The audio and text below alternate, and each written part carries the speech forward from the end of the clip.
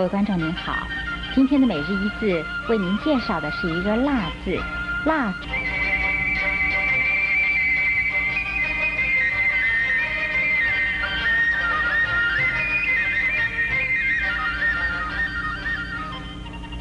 蜡字的国语注音是 l a 蜡，四声蜡，蜡四声蜡。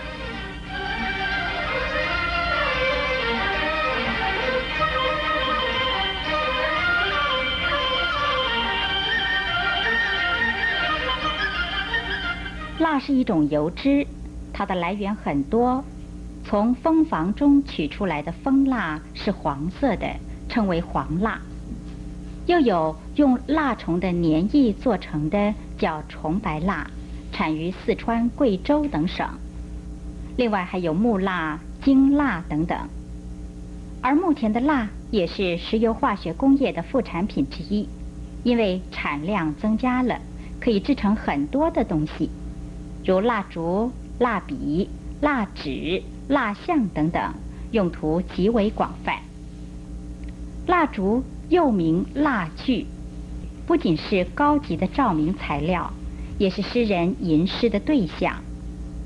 如杜牧的赠别诗：“蜡烛有心还惜别，替人垂泪到天明。”还有李商隐的诗。春蚕到死丝方尽，蜡炬成灰泪始干。谈到了蜡字，就会令人想起一首很受人喜欢的歌《踏雪寻梅》。歌词是这样的：雪霁天晴朗，腊梅处处香。骑驴灞桥过，铃儿响叮当。这里所说的腊梅是属于腊梅科的落叶灌木。高约三公尺，叶呈尖卵形，在冬天腊月开花，花的外层是黄色，内层略带紫色。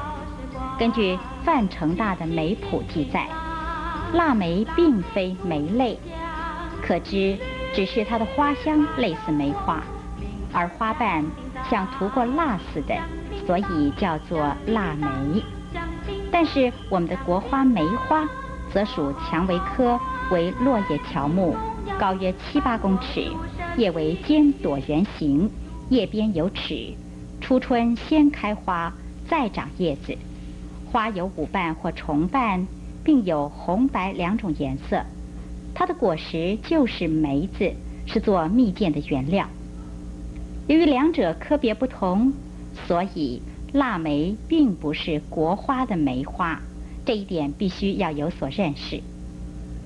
要注意的是，腊梅的“腊”字，很多人把它写成了这样的“腊”字，大概是认为腊梅是在腊月开花的缘故吧，就认为腊梅是这样写成的腊梅了。其实这是不正确的。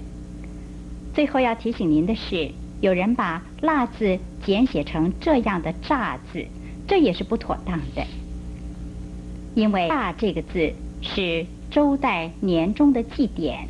如炸祭，还有“蜡”这个字的右偏旁中间的一横是不可少的，总共是二十一笔，而不是二十笔的“蜡”，所以在写的时候也请您要特别的注意。